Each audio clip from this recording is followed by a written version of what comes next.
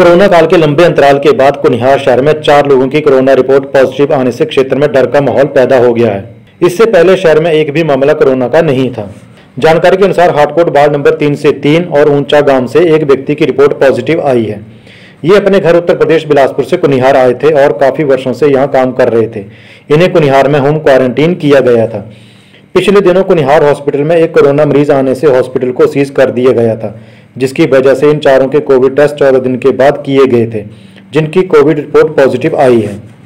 Home quarantine होने के चौदह दिनों बाद ये लोग काम पर जाने लग गए थे और स्थानीय दुकानदारों व स्थानीय लोगों के संपर्क में भी आ चुके हैं, जिससे क्षेत्र के लोगों में दहशत का माहौल है।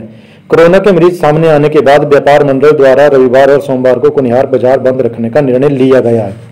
एसडीएम अर्की विकास शुक्ला ने बताया कि इन चारों को अर्की देवनगर संस्था के क्वारंटीन सेंटर में भेज दिया गया है। और जो लोग इनके संपर्क में आए हैं, उन्हें भी होम क्वारंटीन किया जाएगा। उन्होंने कहा कि घबराने की ज़रूरत नहीं है। हमारे पास स्वास्थ्य की सारी सुविधाएँ उपलब्ध हैं। साथ में उन्होंने कहा कि पूरे कुनिहार को सैनिटाइज भी किया जाएगा। कुनिहार क्षेत्र में वार्ड नंबर तीन में तीन और एक ऊँचा गाँव में, ये चारों लोग एक ही साथ आए थे। इनकी ट्रैवलिंग हिस्ट्री उत्तर प्रदेश की है बिलासपुर।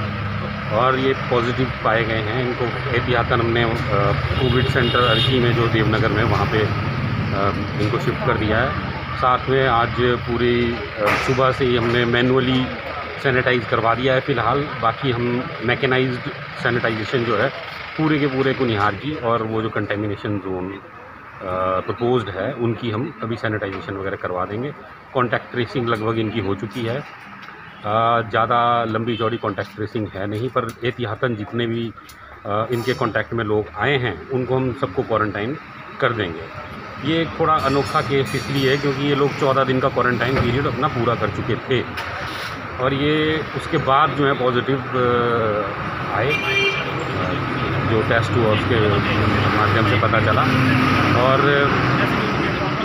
बाकी जो भी प्रिकॉशन इस मामले में हैं, उनको प्रोटोकॉल के हिसाब से, निर्धारित जो प्रोटोकॉल है, उसके हिसाब से किया जा रहा है। और इसमें घबराने की कोई बात नहीं है। तो हमारे पास सभी सुविधाएँ उपलब्ध हैं मेडिकल की बेड्स भी हैं और हमने उनको सुरक्षित स्थान पर पहुँचा दिया है। हिमाचल दस्तक वेब टीवी के लिए कुनिहार से नरेश कुमार।